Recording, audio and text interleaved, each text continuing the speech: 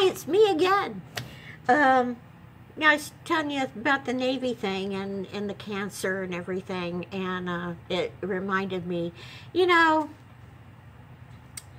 I don't know if I'm insane or not. You know, that's very questionable.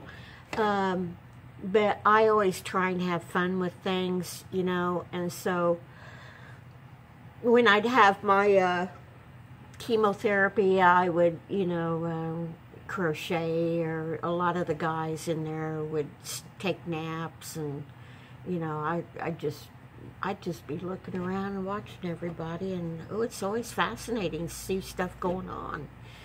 Well, I did lose my hair, okay, and uh, oh, it was fun. I could just take just big chunks of hair out and I'm thinking, ooh, this is fun. It's kind of like uh, pulling the dead hair out of big dogs. You know, you get a pile of hair.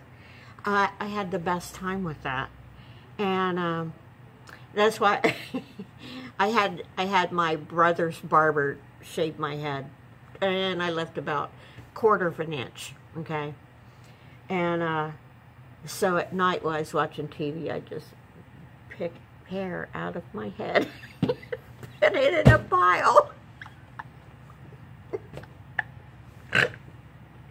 and then after I lost all my hair, I didn't know it, but my eyes were kind of sunken in and I had black circles under my eyes. And uh, so, you know, um,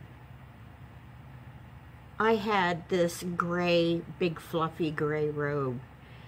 And uh, I'm looking in the mirror one day and I thought, oh my God. I had that robe on with my bald head and the sunken in eyes. And I thought, oh my God.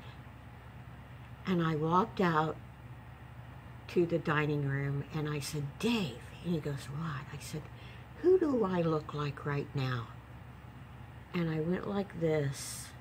You know, I, I put my arms up like that, and I and put a light bulb in my mouth. I looked exactly like Uncle Festus, or uh, Fester on the Addams Family. Oh my God, we laughed about that.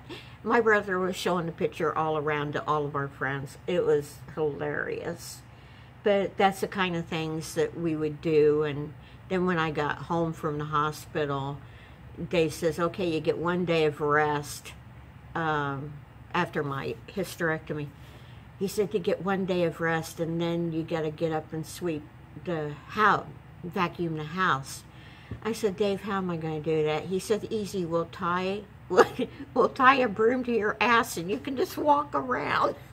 you can just walk around the house and the, this thing goes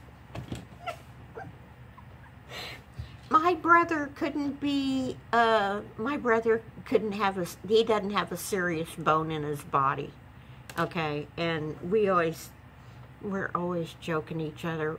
One time I, uh, we were working at a flea market and, uh,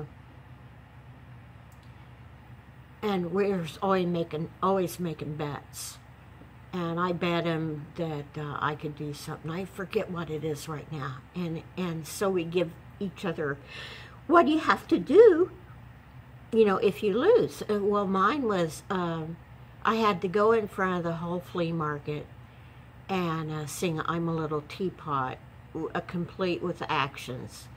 And unbeknownst to me, uh, well, I lost. So while I was singing it, I was being uh, uh, recorded and someone put me on YouTube singing I'm a Little Teapot. Oh my God. But yeah, we're always betting for quarters. Hey, I think it's this. No, I think it's that. I'll bet you a quarter. And then when he wins, I'll say, here, take your dirty money. So anyway, we're always having fun. Um, so that's uh, just a little story for right now. And I'll see you later. Take the long way home. Take it easy and ooh, ooh, bye.